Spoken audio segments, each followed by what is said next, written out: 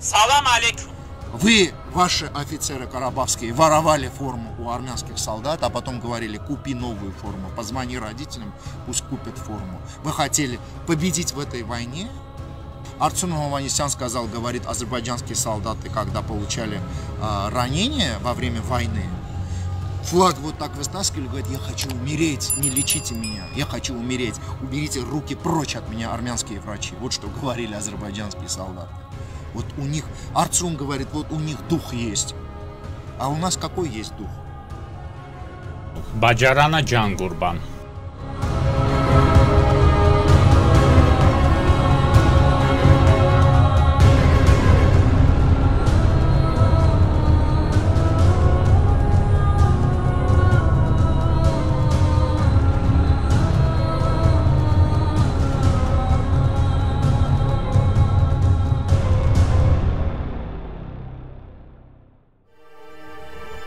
Пишите в комментариях, что вы об этом думаете. Спасибо за просмотр. Не забудьте подписаться на наш канал и поставить лайк этому видео.